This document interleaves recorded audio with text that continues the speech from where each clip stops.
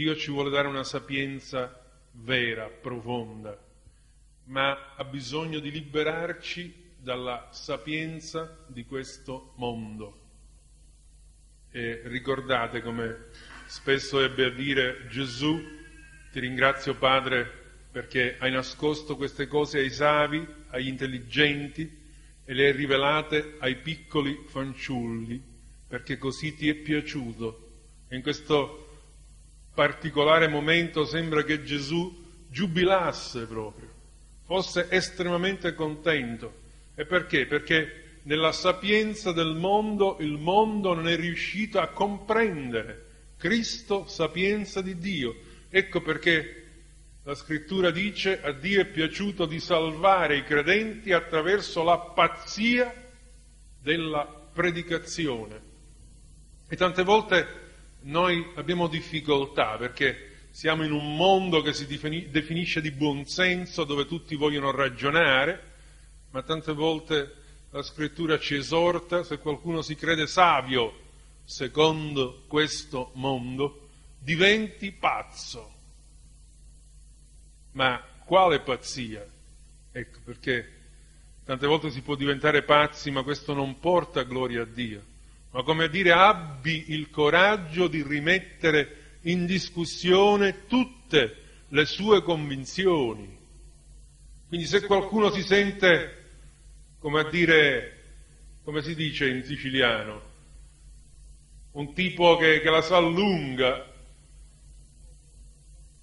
se qualcuno si sente proprio di avere capito ogni cosa, se qualcuno si sente come di avere compreso i misteri della vita e, e, si sa arrangiare bene, viviamo in un popolo di arrangiatori, rimetta in discussione tutta questa sua sapienza, tutta questa sua intelligenza, diventi pazzo. Ecco, comprendiamolo. Diventare pazzo significa in qualche modo perdere il contatto con la realtà, e ci saranno dei momenti della tua vita dove avrai l'impressione di impazzire. E dirai, mamma mia, Signore, che mi sta succedendo? Sto impazzendo. Senza sapere che è lo Spirito Santo che sta cercando di distruggere quelle false certezze, quelle false sicurezze che ti hanno fatto apparentemente sopravvivere. Capitelo, mi viene profondamente questa mattina questo pensiero. Se qualcuno si crede savio diventi pazzo. Cosa vuol dire? Allora che Dio sta cercando di farci passare dalla nostra sapienza, dalla nostra intelligenza, dalle nostre idee ad una pazzia. Ma c'è una grande differenza. Mentre la pazzia umana può condurre alla distruzione, può condurre al manicomio, la pazzia di Dio conduce alla sua presenza. Gesù certamente parecchie volte fu considerato un pazzo, perché non agiva del tutto secondo i canoni, secondo i sistemi della vita. E chiunque non va secondo la norma viene considerato anormale, non normale. E questa mattina lo Spirito Santo sta lavorando nella tua vita, nella mia vita, in qualche modo per portarci a un'identità diversa, nuova, ma per arrivare a un'identità nuova abbiamo bisogno di essere in crisi. E io non mi preoccupo quando un credente mi dice io non capisco più chi sono, perché so che questo è il lavoro dello Spirito Santo, perché Dio ci vuole fare scoprire che noi siamo quello che Lui ci ha fatto essere, non le immagini che gli altri ci hanno proiettato, non le immagini che noi stessi ci siamo creati. Tante volte per le esperienze diverse che tu hai nella tua vita ti formi un'immagine di te stesso, ti ritieni in una certa maniera, ti consideri in una certa maniera, poi arrivano circostanze dopo, dove la verità si rivela in maniera diversa e magari dici mamma mia come sono, non me l'aspettavo da me, come mi sono ridotto, cosa sto pensando, che pensieri strani, andiamo in crisi nella nostra immagine, ma questo è Dio che permette questa crisi, è Dio che permette le difficoltà, le debolezze. Perché? Perché Lui sa che abbiamo bisogno di basarci sulla sua parola, sulla sua immagine. Ecco perché non dobbiamo avere paura di diventare deboli. E lo Spirito Santo opera in questa maniera nella nostra vita. È strano. Dice, ma come? Fa al contrario, noi vorremmo più forza, invece Dio ci indebolisce. Sì, ci indebolisce. Può sembrare strano, Dio ci indebolisce. Perché? perché vuole farci scoprire la sua forza. E questa mattina nel, nella mia mente riecheggia un versetto che vorrei così brevemente trasmettervi, ecco perché credo che noi dovremmo vivere sempre di più, soprattutto nella domenica, questo culto di adorazione dove arriveremo a un certo punto a parlarci gli uni gli altri con canti, con salmi, anzi in questo voglio darvi un incoraggiamento a crescere nella partecipazione, ecco, a comprendere che siamo in un territorio di libertà dove possiamo esprimere anche le nostre emozioni, dove possiamo entusiasmarci, dove possiamo veramente sentirci come piccoli bambini e non so se qualcuno di voi si ricorda ancora come sono i piccoli bambini, forse siete diventati troppo grandi e grossi per ricordarvi come sono i piccoli bambini, come sono spontanei, come saltano, come danzano, come riescono realmente a partecipare emozionalmente, fisicamente, totalmente a quello che stanno vivendo. Dio ci sta chiamando a una partecipazione di questo genere molto più grande di quella che si può avere andando in discoteca, molto più grande che si può avere ascoltando un concerto di Beethoven, di musica classica, molto più grande di quello che si può avere seguendo la partita della propria squadra del cuore, molto più grande. Dio ci sta chiamando a una partecipazione totale, spirito, anima e corpo. Ne possiamo avere certe testimonianze ricordando per esempio la vita di Davide. Ricordate un momento della sua vita, nel momento della grande gratitudine a Dio, si mette a danzare in una maniera così, eh, secondo gli altri, scomposta che viene criticato, ma lì lui ritorna bambino. Lo stesso Davide che altre volte invece si nasconde, altre volte fa il pazzo, quel momento è al centro della gloria di Dio e manifesta la gloria di Dio danzando, lodando. Quindi dicevo, impariamo a venire qui in chiesa, soprattutto la domenica, per vivere un'esperienza di lode profonda, totale, dove veramente ci liberiamo, dove veramente come piccoli bambini impariamo, dove magari possiamo fare anche un giro tondo, Può sembrare strano, tante volte mi ricordo nel passato abbiamo fatto dei momenti particolari di lode, di adorazione, la prossima estate li faremo, ma in, siamo andati per esempio a, a mare e dopo aver lodato abbiamo cominciato proprio a fare giro tondo, a danzare, a cantare nella massima semplicità. Abbiamo bisogno di ritrovare questa semplicità dei bambini Abbiamo bisogno perché Dio si rivela ai piccoli fanciulli, quindi quando noi rimaniamo lì tutti concentrati, cerebrali, bloccati, riusciamo a percepire un, una piccola parte di quello che Dio vuole farci vedere. Se noi invece riusciamo a lasciare la nostra intelligenza, la nostra razionalità e entriamo con lo spirito di piccoli bimbi, allora l'unzione dello spirito sarà molto più grande, molto più forte. E quindi, anche se so che hai fatto tanta fatica per diventare grande, per non essere più bambina, Dio ti sta dicendo io ti voglio fare ritornare bambina in questo senso, ti voglio fare diventare piccola fanciulla, piccolo bambino, perché dalla bocca dei fanciulli, dei lattanti, hai tratto lode, hai tratto lode per ridurre al silenzio l'avversario e il vendicatore. E allora prepariamoci a questo. Veniamo con questo spirito di bambini che vanno a, a un incontro bellissimo dove, dove possono realmente incontrare l'amore del Padre.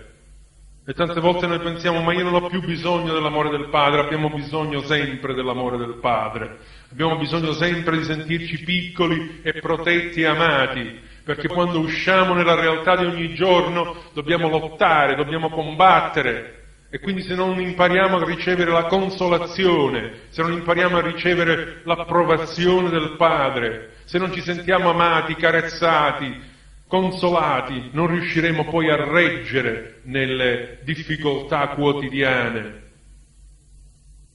E dicevo questa mattina un pensiero breve che echeggia nella mia mente e recita così, non siate vinti dal male, ma, ma cosa? Vincete il male con il bene, non siate vinti dal male, ma vincete il male con il bene. E voglio brevemente sottolineare questa espressione che fortemente ci viene dallo Spirito Santo attraverso la parola di Dio e che troviamo nella vita di Gesù e che troviamo nella vita di tanti uomini di Dio e che troviamo nella vita di Dio stesso. Perché? Perché Dio stesso ha deciso di vincere il male con il bene. Ecco perché ce lo chiede a noi Dio stesso ha deciso di vincere l'uomo, di vincere l'uomo con tutto il suo male attraverso l'opera di Cristo, il bene supremo dell'universo. Dio ha usato questa strategia e direi che questa è la strategia che funziona. Il diluvio anche se certamente ha cancellato il male sulla terra, non ha vinto. Comprendiamo, la vera vittoria è quando conquistiamo l'altro all'amore. La vera vittoria non è quella che distrugge l'altro, che gli toglie qualche cosa. Oggi siamo abituati ad un clima dove si combatte, e la vittoria corrisponde alla sconfitta dell'altro. Abbiamo vinto, che significa che l'altro ha perso, che l'altro è stato distrutto. Il male viene distrutto, ma Dio ha usato un'altra tecnica e io sono contento. Io sono contento questa mattina che Dio non ha deciso un altro ancora diluvio, perché l'uomo sicuramente non aveva nessuna intenzione di cambiare, era come una storia che si ripeteva, ma io sono contento che Dio ha deciso di vincere il male dell'umanità, il male tuo e il male mio, attraverso il giusto, l'unico giusto, Gesù Cristo. Attraverso Gesù Dio ha vinto il male. E come lo ha vinto? Facendo sì che Gesù arrivasse qui e come tante volte sentivamo l'altra volta i discepoli lo incoraggiavano facendo scendere raggi laser, distruggendo tutti quelli che la pensavano diversamente? No, non lo ha vinto in questa maniera. Ma l'amore di Gesù lo ha fatto vincere sul male. E capitemi bene, Gesù non amava il diavolo, perché tante volte potremmo arrivare a una concezione relativistica dove noi dobbiamo amare le cose cattive, no, ma noi siamo chiamati a usare delle armi spirituali. Ecco che possiamo vincere il male con il bene, perché Dio ci ha dato un'armatura. E qualche volta ci rifletteremo insieme più profondamente in Efesini, armatura spirituale perché c'ha delle ricchezze incredibili, ma Dio ci ha fatto essere in maniera tale da poter vincere, da poter sconfiggere il male attraverso quello che Lui ci ha dato. E questa mattina la domanda che Dio ci fa in maniera molto semplice è come ci difendiamo come cerchiamo di vincere il male? Come cerchiamo di combattere il male negli altri e in noi? Come cerchiamo di vincere questa battaglia con cui ogni giorno siamo confrontati? Come lo facciamo? Quali armi usiamo? Quali sistemi usiamo per vincere il male? E abbiamo bisogno di chiedercelo questa mattina perché Dio vuole fornirci delle armi nuove se noi non siamo in grado di usare le sue armi. Dio vuole fornircele questa mattina, vuole darci un arsenale nuovo. Ecco perché abbiamo bisogno di scoprirle queste armi. E grazie a Dio per molti di voi che stanno cominciando a scoprire la potenza che c'è nella intercessione, la potenza che c'è nella lode, la potenza che c'è nella preghiera in genere, la potenza che c'è nella parola, la potenza veramente di cui Dio ci ha equipaggiati per non essere sconfitti. Ma sapete, tante volte noi vorremmo usare queste cose sempre con le nostre forze, vorremmo usare le cose di Dio con motivazioni umane e non funziona. Tante volte vorremmo arrabbiarci, per esempio, contro il diavolo, ma non sarà odiando il diavolo, non sarà eh, scacciandolo con rabbia che il diavolo andrà via da te, ma è l'autorità che lo scaccia. Mi ricordo tante volte io ero preso in, e credo che a ognuno di voi sarà successo di combattere spiritualmente in eh, lotte accanite per cacciare via il male ed erano le lotte estenuanti che non finivano mai. Perché? Perché in qualche modo sembra strano, ma tante volte noi combattiamo il male con lo stesso male, anche se lo facciamo nel nome di Dio, mentre è l'autorità, è la fermezza, è l'amore, non per il demonio, ma è l'amore per Dio che poi ti dà fermezza e autorità sul male. Capitevi? E conoscere Dio ed essere uniti con Lui che poi fa sì che le tue parole e non perché sono delle formule particolari, mi ricordo che ai miei tempi si usava il sangue di Gesù o altre formule di vario genere e poi uno cercava tante altre formule per cercare di rendere la, la preghiera ancora più forte, ma non è che questo cambiava l'efficacia, non è quante volte nominavamo il sangue di Gesù, ma è l'amore per Dio, è l'amore, la comunione con Dio che fa sì che la tua preghiera ha un effetto, ha autorità e vince il male con il bene. Ecco, già cominciamo a scoprire, vince il male con il bene. Che significa? Significa che Dio vuole che impariamo a reagire al male con le armi che Lui ci ha fornito. Impariamo a reagire al male non attraverso le nostre emozioni.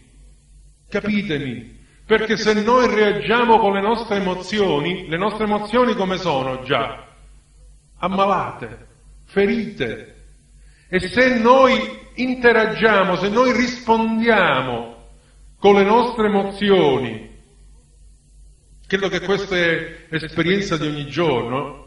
Ogni giorno qualcuno cercherà di farti del male, più o meno coscientemente. E come reagisci? Se noi reagiamo con le nostre emozioni, e magari in quel momento siamo già seccati, siamo amareggiati, c'è qualcuno che ci va a pungere proprio in quel momento, cosa succede?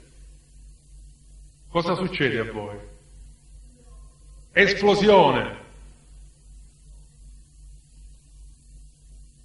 Ma, e qui veramente c'è la vittoria, se in quel momento noi stiamo vivendo una comunione con Dio, se in quel momento abbiamo lo scudo della fede, è una parte fondamentale, la corazza della fede, i dardi infuocati del maligno non potranno bruciare, potranno sì colpirti, sentirai, ai, sentirai un dolore momentaneo, ma potrai reagire in una maniera nuova, in una maniera spirituale.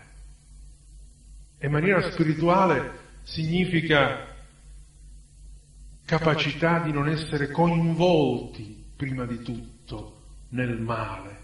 Cioè che il male che ti viene incontro non evoca il male dentro di te, perché la trappola più grande del demonio è quella sempre di prendere due, tre, quattro piccioni con una fava, di contagiare il male, di contagiare la critica, di contagiare l'amarezza.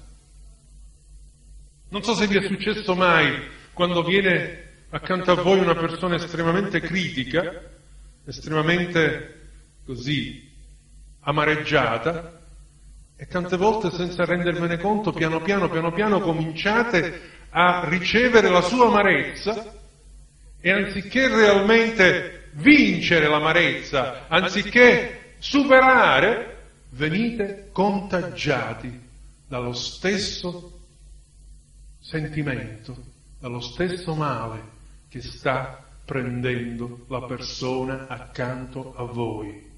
Contagio, contagio virale. Però siamo in una fase di grande freddo per noi, i virus attaccano di più, ma il contagio avviene. Perché? Perché in qualche modo le difese immunitarie di ogni persona non sono abbastanza forti. E allora basta trovarsi in una circostanza di debolezza, di abbattimento, per cui il virus del vicino di casa, il virus del fratello accanto a te, passa da te. E allora la sua amarezza diventa la tua amarezza, la sua critica diventa la tua critica, il suo sospetto diventa il tuo sospetto, sua, il suo risentimento diventa il tuo risentimento. Veniamo coinvolti. Questo è l'attacco più grande delle forze delle tenebre, quello di usare dei sistemi di contagio in maniera tale che il popolo di Dio, che la Chiesa, anziché vivere quella salute meravigliosa, spirituale che Dio ci ha dato, possa vivere sempre malata. E appena finisce il virus dell'amarezza passa il virus del risentimento. Appena finisce il virus del risentimento viene quello della pigrizia. Appena finisce quello della pigrizia viene quello dell'indolenza che poi è simile e così via, viene quella dell'impazienza, viene quanti contagi, quante malattie e tante volte noi non riusciamo a vincerle, ma ne siamo vinti. E qui questa mattina il, è il messaggio che Dio ci dà prima di dire vincete, non siate vinti dal male, come a dire il male nelle sue varie forme, nelle sue varie espressioni, cerca di vincervi. E ricordate, come dice la scrittura, ognuno poi diventa schiavo di colui che lo ha vinto. Quindi se io vengo vinto dall'amarezza, se io vengo vinto dal risentimento, non sono io che poi domino il risentimento, ma è il risentimento che domina me. Questa è l'illusione, perché tante volte noi pensiamo di essere noi a pilotare, a governare il male. È come dire no, io prendo un piccolo male e lo uso alle dosi che mi serve. No, caro mio, È come avviene nel sistema mafioso. Tante volte noi pensiamo che in qualche modo possiamo chiedere aiuto e c'è questa logica in cui quando tu hai un problema chiedi aiuto a una persona di un certo genere così. E diciamo mi ha aiutato, sì ti ha aiutato, però poi in un certo momento quello ti verrà a cercare, quindi ti accorgerai che questo aiuto che hai ricevuto dal male e che sembra che ti è servito, alla fine in qualche modo ti coinvolgerà. E alla fine perché il male poi verrà e ti dirà, ma guarda che io ti ho aiutato, quindi in qualche modo siamo amici. No, dice, ma io non voglio, no, siamo amici. Il male ci si incolla, il male vuole prenderci profondamente. È come un virus che vuole andare fino al profondo. E tante volte, grazie a Dio, noi cristiani lo viviamo solamente con un'infezione superficiale, perché L'azione del demonio vorrebbe andare fino in profondità e conquistare il nostro spirito, ma non lo può fare, però infetta le nostre menti, i nostri sentimenti, i nostri pensieri. Non siate vinti dal male. La parola di Dio tuona questa mattina, non siate vinti dal male, come a dire nel momento in cui vi troverete il male davanti e si presenterà sotto varie forme, si presenterà sotto la forma di una moglie arrabbiata o di un marito fuori dai gangheri, si presenterà sotto la forma dell'amico del cuore che ti giudica, si presenterà sotto la forma del fidanzato che ti lascia, si presenterà sotto la forma del, del fratello che non ti capisce, del pastore che dice una cosa che tu non capisci. Sotto varie forme il male ti si presenterà e busserà alla tua porta e ti dirà posso entrare, ti si presenterà con una paura di una malattia, ti si presenterà con tante altre cose in cui il, il, demonio è esperto proprio, lui è un manipolatore per eccellenza, non per niente è chiamato il principe della menzogna, il grande illusionista, colui che riesce a trovare una trappola personalizzata per ognuno di noi. Il male ti si presenterà. E la parola di Dio questa mattina ti dice, figlio mio, io ti voglio liberare dal male. Liberaci dal male. Dice la preghiera per eccellenza. Liberaci dal male. Perché? Perché il male si troverà davanti a te per vincerti. E che significa per vincerti? Per farti diventare schiavo. E allora ricordalo questa mattina, ricordalo domani, dopodomani. Si presenteranno alla tua porta e suoneranno il campanello quando non butteranno giù la porta, perché il male non ha neanche tante delicatezze, quando si presenta non dice permesso, butta giù la porta, si presenterà l'amarezza. E tu cosa dirai? Amarezza, prego, accomodati. E comincerai ad amareggiarti, amareggiarti, l'amarezza comincerà.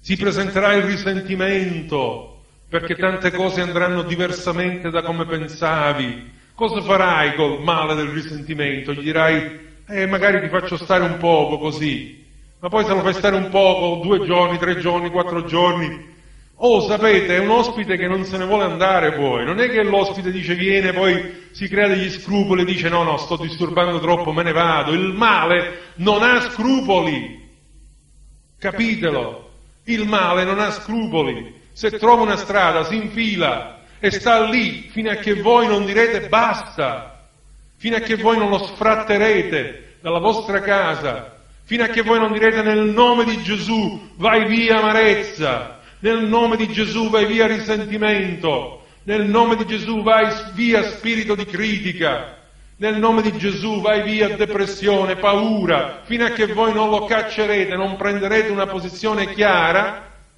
sarà il male a fare il bello e il cattivo tempo nella vostra vita, e questo male comincerà a condizionarvi, perché forse lo avete già scoperto cosa significa essere schiavi di qualche cosa di male. Non mi succede quando, per esempio, siete schiavi del risentimento, ce l'avete con qualcuno, già cominciate a studiare tutti i percorsi per non incontrare quel tale, appena lo incontrate vi nascondete, appena tutta la vostra vita comincia a girare intorno a quella cosa.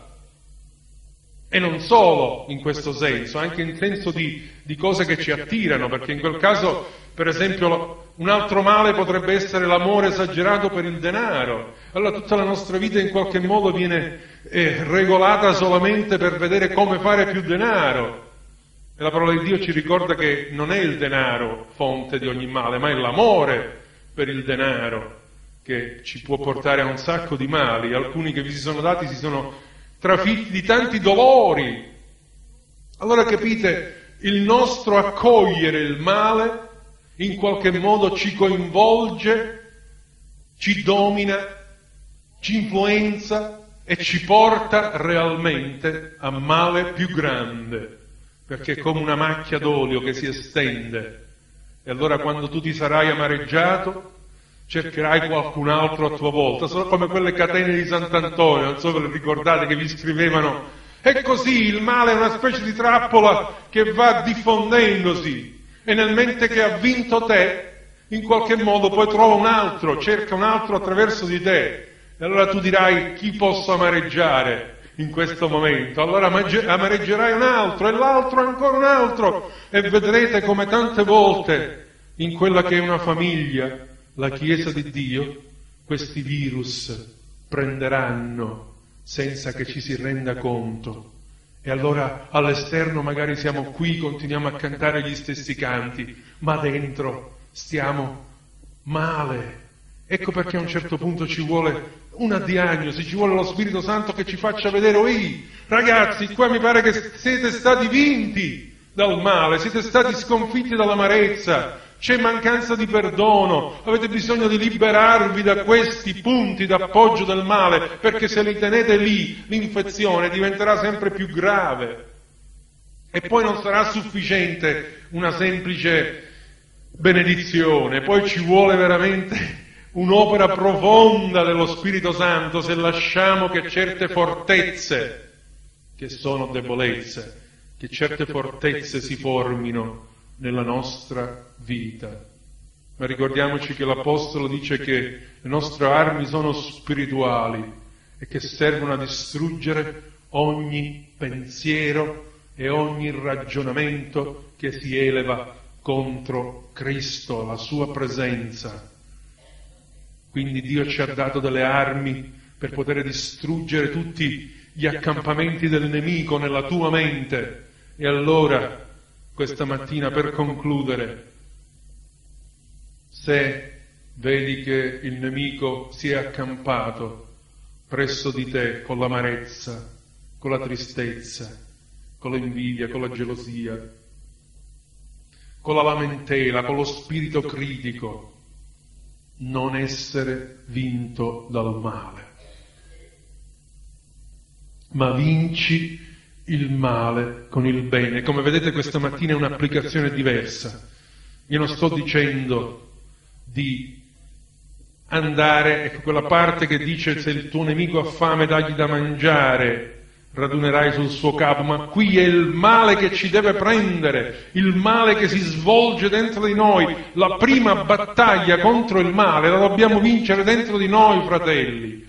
Noi tante volte pensiamo di vincere all'esterno, ma la prima battaglia contro il male va vinta nella nostra vita di ogni giorno. Se lì noi non vinciamo, ha voglia che poi cerchiamo di fare un sacco di cose, ma abbiamo già perso, siamo schiavi dell'amarezza. Se noi non vinciamo l'amarezza, possiamo fare la faccia così allegra mentre che ci viene l'ulcera e vedere il fratello dire sì fratello, come ti voglio bene, e intanto l'ulcera ci prende sempre di più. No, questa non è vittoria.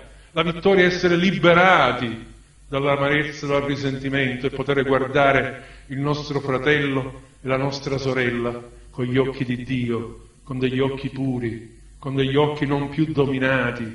Allora impariamo, fratelli, questa mattina, nel momento in cui ci sono i sintomi di questo male, cerchiamo di levarlo subito, cerchiamo di aiutarci subito a levare, curiamoci, diamoci vitamine a vicenda, portiamoci vitamina C, vitamina A, tutte queste vitamine, diamoci stimolanti, rinforzanti, aiutiamoci, usiamo delle prevenzioni, Stimoliamo il nostro sistema immunitario perché nessuno di noi si ammali e se qualcuno veramente è diventato in un certo momento malato, aiutiamolo subito a guarire, perché se non guarisce non solo starà a male lui, ma tenderà senza volerlo a contagiare.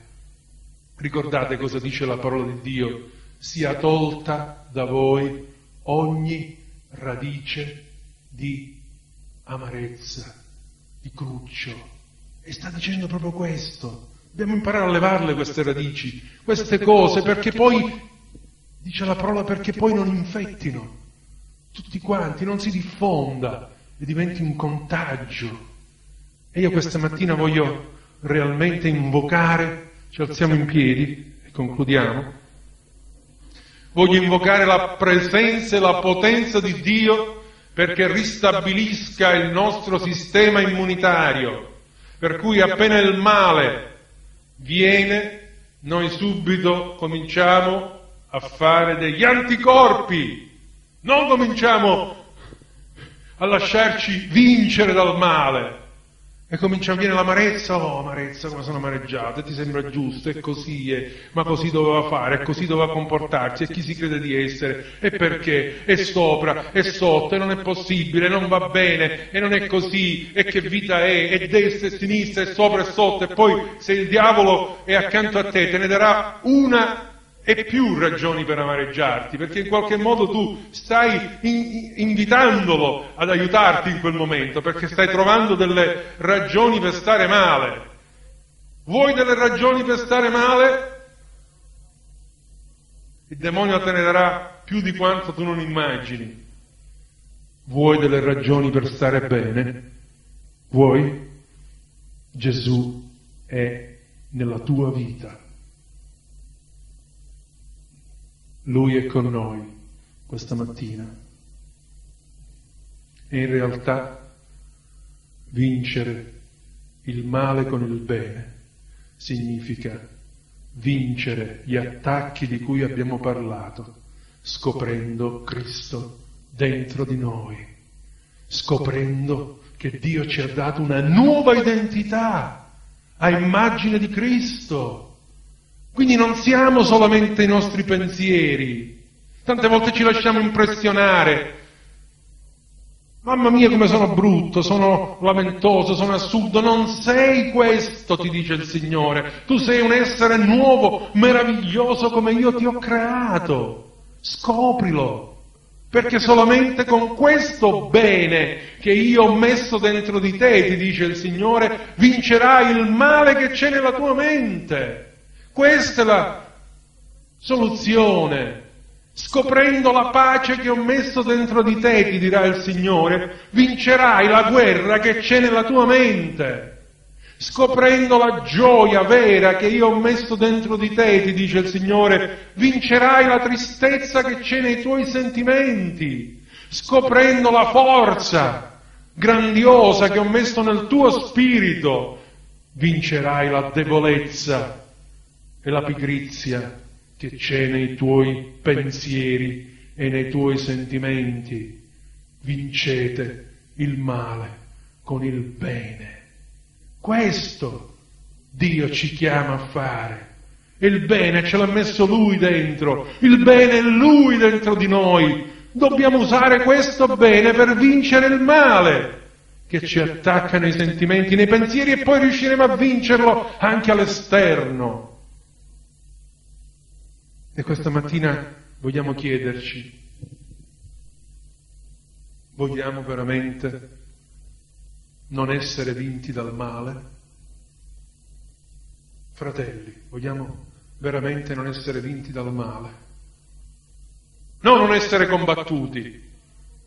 Io, io vorrei pregare, Signore, non voglio combattere più il male, non lo voglio vedere più il male. Me ne voglio andare in un pianeta dove non esiste il male, non esiste. Voglio andare in una chiesa dove non ci sono problemi, non esiste. Vuoi andare in una società migliore nuova? Purtroppo non esiste. Quindi non, Signore, non vogliamo più vedere il male, ma Signore, non vogliamo più essere sconfitti dal male. E quando lo vedremo, venirci incontro servendosi dei nostri sentimenti feriti, delle nostre paure, dei traumi che abbiamo subito nella vita quotidiana, quando lo vedremo venirci incontro, noi staremo fermi in te, Signore. Lo riconosceremo come male e gli resisteremo stando fermi nella fede ed egli fuggirà via da noi e l'amarezza fuggirà e il dolore fuggirà e la tristezza e il risentimento e la paura fuggirà perché? Perché gli opponiamo le cose di Dio. La nostra fede ha vinto il mondo.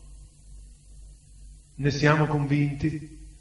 Se possiamo credere, siamo più che vincitori. E allora vinciamo attraverso la fede il male con il bene che Dio ci ha donato.